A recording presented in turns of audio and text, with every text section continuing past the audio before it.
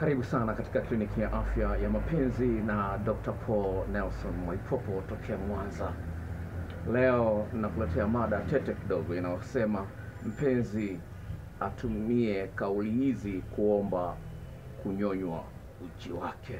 Mpenzi atumie kauli hizi kuomba kunyonywa uchi wake. Wengi wanaona kinyaa kumnyonya mwanamke au kumnyonya mwanaume, lakini kutokana na tafsiri za kibiblia, nyinyi ni mwili mmoja. Kwa nini muonee kinyaa mwenzio? Mkeo ni mwili mmoja na wewe, mumeo ni mwili mmoja na wewe.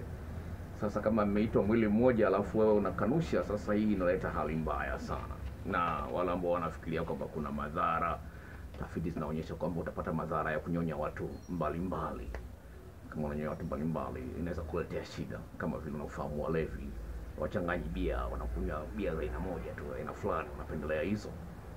Unapochanganyachanganya wapenzi wa kunyonyanyonya, hapo ndipo kujitengenezea sumu wewe mwenyewe. Lakini kama una mpenzi wako mmoja, mnapendana nini, kunyonyana ni kitu kizuri sana. Sasa bila kuingilia kwenye swala unanyonyaje, inakuwaje na nini na nini, hizo ni video ambazo zina mafundisho. Sasa kuna wanawake ambao wanapata shida kunyonya mwanaume mwanaume anaingiza dudu lake kwenye mdomo kama vile ameingiza kwenye mdomo wa mbwa, wanafaruzwa faruzwa humo ndani, na mwanamume naye vile hajui kunyonya uchi wa mwanamke vizuri vizuri, kama vile anajilazimisha tu, bala ya mwanamke kupata raha anaona inakuwa kero. Sasa haya yote yapo, na katika tafiti mada hii nimeona yanachangia. Kuna watu ambao wanapendwa kunyonywa, lakini wao hawapendi kunyonya wenzao na wako watu ambao wanapenda kuwanyonya wengine, lakini wao wenyewe hawapendi kunyonywa. Sasa mwanamke ambaye anaona kwamba mwanaume akianza kunyonya uchi wangu mimi nimelala, naweza nikamjambia nikamjambia ushuzi, alafu uvundo wa ushuzi unanuka vibaya kweli. Kama ishai kumjambia mwingine huko nyuma, lazima ataogopa kunyonya, kwa sababu anajua aishai kumjambia mtu ikawa ikawa kesi kubwa sana. Sasa hii ipo, yuko mwanaume ambaye alishawahi kujambiwa usoni, yeye badala ya kukasirika alicheka sana, lakini mudi yote ikaisha. alicheka sana, mwanamke anamnyonya ukajamba mwanamke kwa hiyo usoni, kajambiwa usoni, akajisikia vibaya sana. akujisikia vibaya sana, lakini alicheka sana kwa sababu ilikuwa hajawahi kumtokea.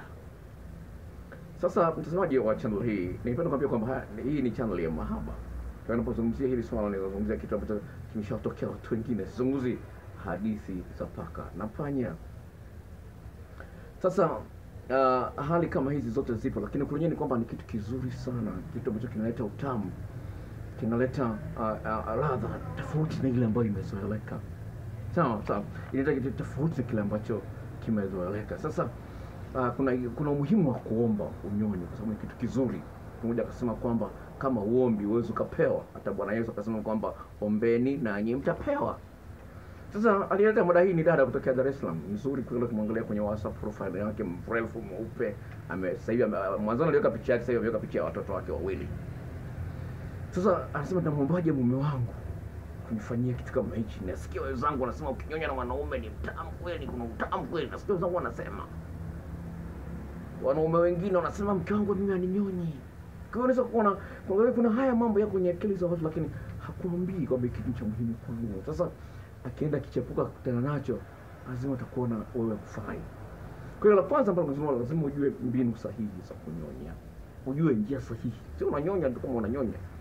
Nazungumza kama mwanaume sawa, kuna mwanamke anakunyonya unapata shida kidogo, na unaona kumwambia, lakini anakukwaruza kuna mwingine aisha kunionya Dar es Salaam akawa ananikwaruza, nikamkalia kima. Moja nikafungua akaunti ya, ya Facebook ambayo haina jina wala haina picha yangu, nikamwambia wewe hujui kunyonya dudu. Alikazilika akatukana kweli kwenye Facebook kamwingine kwenye Facebook ambia hujui. Anyway, ni mzuri kwa sura, ukimwangalia dada mmoja nzuri, ana hips za kutosha, lakini kunyonya dudu hajui. Maskini nilinyonya mpaka kapisi, lakini kunyonya alishindwa kunyonya. Alifanya anajua, wengine wananyonya, lakini wananyonya muda mfupi tu, dogo ameacha. Wengine wananyonya hawaonyeshi mchangamfu, kama vile wamejilazimisha. Hayo yote hapo, kwa hiyo ndio hawa wanachangia kuona kwamba kuona kwamba watu wengine wanaogopa kunyonya kwa sababu hawapendi hicho kitu. Sasa sikiliza, kuna mtu mwingine anajisikia vibaya kuomba. Kwa nini nakuambia kwamba hiki huu ni wajibu wako? Sikiza huyu mwanaume sema hivi. I still have qualms about asking even though i give her oral all the time. Sema najisikia vibaya kumuomba anifanyie aninyonye. Japokuwa mimi namnyonya mara zote namnyonya mara nyingi sana namnyonya. Lakini kumuomba kumwambia ninyonye mimi sasa Nata- nasema nataka iwe kitu cha kawaida cha asili. Anafanya kwa kujituma kwa hiari yake mwenyewe. Sawa Asema usiku wa jana nilikuwa natamani kweli aninyonye. Huyu mwanaume anazungumza, natamani kweli aninyonye, lakini nikaogopa kumwambia. Lakini sasa hivi najisikia nyege kweli. Unaweza kuona, kunaweza kusababisha mwenzio aendelee kuwa na nyege nyingi, alafu akwambii. Kwa hiyo unayesubiri kuambiwa, sawa, nitakuambisha, nitakufundisha jinsi ya kumwambia, kumwomba mwenzio akunyonye, lakini cha msingi ni kwamba ni jinsi gani wewe unajituma kuonyesha kwamba kweli unamthamini mtu, sio usubiri kila kitu uombwe sawa sawa. Ili mradi sio kila saa kila siku unataka unyonye kila siku unataka unyonye. Ili mradi mara moja moja anakuwekea. Watu wa wali wali kila siku japo wali ni mtamu. Sawa unabadilisha mabadilisho kuna vitu vingine. Siku nyingine atanyonya makalio hmm? siku nyingine atanyonya korodani. Sasa siku zote anyonye dudu. Siku nyingine atanyonya vidole. Yote yanawezekana sawa. Huyu ni mwanamke anazungumza. Anasema hivi siwezi nikamzungumzia kila mwanamke aliyopo hapa duniani sawa. Mimi napenda kunyonya dudu la mwanaume. Lakini hata hivyo pale atakapoanza kuniambia ni mnyonye atakaponiomba ni mnyonye mudi yangu inapotea hisia zangu zinakatika. Sawa. Nasema sitaki tena kumnyonya kiniomba. Nasema ufunguo wa mimi niweze kumnyonya mtu kwamba nijisikie kwa hiari yangu mimi mwenyewe nampa kitu ambacho najua atakipenda. Sio yeye aniombe. Sitaki mume wangu nimuone kama vile niombaomba. Sawa unaweza kuona unaweza kuona kwa nini inaweza kuwa ngumu kwa mtu mwingine kuombwa? Kwa maneno mengine kwamba ni muhimu sana kuwepo na, na uwazi na ukweli jinsi gani mna share feelings zenu sawa hisia zenu kama wapenzi. Hilo ni jambo la msingi ulizingatia sawa. Sasa haya mambo yote yapo sawa. Mwanaume akisema kwamba hapendi kunyonywa mara nyingi ni kwa sababu wanawake ambao ameshakutana nao hawajui jinsi ya kunyonya kiusahihi. Sasa na video dada mmoja nimemtumia juzi au jana inaitwa sex tricks. Jinsi ya kunyonya mume na kulambalamba na nini na nini na nini akaniambia hii ni bomba kweli. Huyo mwanamke anatembea na mchepuko. Mchepuko umempa mtaji wa milioni nne na umeshamnunulia kiwanja. Dada wa miaka ishirini na nne tokea njombe. Sawa Unaona? kwa hiyo kuna ufundi kama vile gitaa. Ukipiga vibaya gitaa ni, ni kelele. Lakini kupiga vizuri muziki tamu sana. Napiga kile kwa kuna ufundi wa kupiga gitaa. Sio na kwaruza tu nyaya. Nyonya mwanamke vile vile. Kuna ufundi. Kumnyonya mwanaume kuna ufundi. Ndio kwa hiyo unaweza kuona mnyonya mwenzio kwamba unakosea. Ndio maana hataki. Atakutana na atamkumbuka mpenzi wake wa zamani alikuwa anamnyonya vizuri. Atamtafuta facebook instagram mpaka lakini tafuta mpya anaweza kuwa mjinga kama mke wake au kama mume wake. Sawa. Mwanaume mmoja akasemaje, katika wanawake tisa ambao nimewaomba ni- ambao nifanya nao mapenzi wawili tu ndo walifanya kwa hiari yao. Na kati ya hao saba ilipasa niwaombe. Unaweza kuona unaweza kuona. Anajisikia vibaya kwa nini niombe hajui wajibu wake.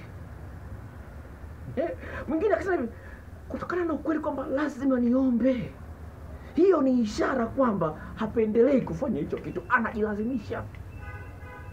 Kwa hiyo sio siombi mara kwa mara. Ni mwanaume mwingine anasema hiyo pointi Ah, mwanaume mwingine akasema hivi katika wanawake kumi nili- niliofanya nao mapenzi. Sawa sawa. Sawa. Ili niweze kunyonywa. Sawa lazima niombe na unapoomba mara nyingi hakatai. Anasikia anasema napoomba ninyonywe mara nyingi huyu mwanamke hakatai. Sawa? Hasa na mimi nikia niki- nikimwahidi kwamba na mimi nitamnyonya. Lakini mara nyingi napokuwa ninaomba sawa najisikia napoteza ile mudi. Sawa? Au atafanya kwa dakika mbili dakika tatu tayari ameona kwamba ameshakunyonya basi. Sasa mara nyingine na unashindwa hata kuomba.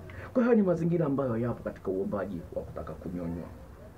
Sawa mwanamke mwingine akasema hivi mara nyingine nikiona mume wangu hajaninyonya kwa muda mrefu nitamwambia. Nitamwambia. Sasa hiyo ndio ya kwanza sasa ni katika vili uombaje sasa nakuja sasa utaombaje ya kwanza.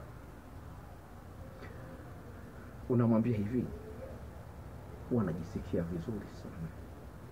Naponyonywa uchi wangu, awe ni mwanamke au ni mwanamke huwa najisikia vizuri sana. Naona umeniheshimu, umenipa kipaumbele, umenienzi, umeniheshimisha. Sio una umeosha dudu lako, umeosha mapumbu yako, umeosha uchi wako vizuri, sio unataka kunyonya wakati mchafu. Sawa sawa. Kwa hiyo umeosha vizuri kabisa. Kuna wengine wanawake hata kama hakuosha hana harufu. Nilichokutana na dada moja, nilishangaa kweli, ilikuwa ni mchana, hana harufu hata na hakuniomba. Ni mwenyewe ndio yaani nanyonya mpaka unaona kabisa. Nanyonya huko kidole kinaingia naingiza kule ndani. Unaona ile kama unakuja mbele. Yaani unaona kile kidole kama vile kinasukumwa. Yaani pressure yanapizia eh eh. Alikuwa nitafuta futi kwanzia siku hiyo nilipomnyonya. Ananitafuta kama hela.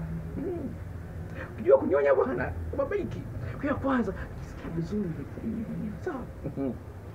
Ah sawa. Lingine sawa hakikisha kwamba unapokuwa unamwambia unamwambia kama vile unamsifia anajua kunyonya last time mara ya mwisho uliponinyonya ilikuwa tangwe. tunaweza kukaza kuniona leo tena mara ya mwisho uliponinyonya hata kama ni miaka ishirini imepita unamkumbushia kuna siku ulininyonya Mbona siku hizo umeachia uso mbona? Ah, ah, siku uliponinyonya, yani lina makucha. Siku uliponinyonya, leo? Unaweza kwa unaingiza gia ya laini, ya laini. Inaingia kilaini laini, sawa? Mm. Eh, eh, eh, eh. Yaani unaponinyonya najisikia mimi ni kwini najisikia kama hakuna mwanamume mwingine unayempenda zaidi yangu, ni mimi tu. Mm. Mwingine unaweza kumwambia yaani leo mm, nilikuwa nafikiria yani nilikuwa nafikiria ulivyonyonya mwaka jana. Ulivyonyonya mwaka jana. Yaani nilikuwa nafikiria nimekumbuka kitu lakini nakumbuka vizuri kweli. Unajua kunyonya. Na leo ni na leo nataka kunyonya. Eh, ah. haya ni mambo ya kutumia. Sio unamshika kichwa chake tu unamleta kwenye dulu lako akunyonye unasikuvuta kichwa. Nyonya